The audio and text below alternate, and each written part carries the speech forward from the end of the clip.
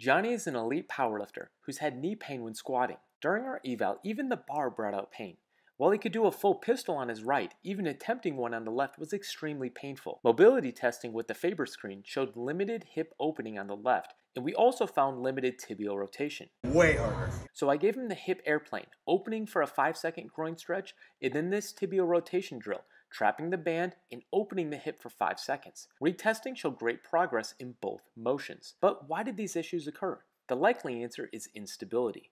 Watch this test. Strong resistance here, but on the left,